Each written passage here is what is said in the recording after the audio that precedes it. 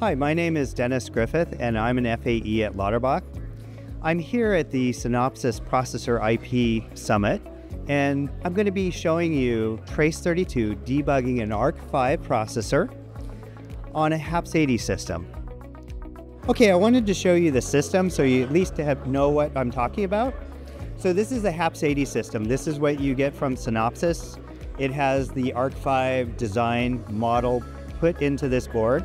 So it's going to emulate your silicon before you actually commit that to silicon and, and spend the big NRE. We have an interface card here, and the cable plugs into the interface card. This is going to be the same connector that you're going to use when you get your board and your silicon back.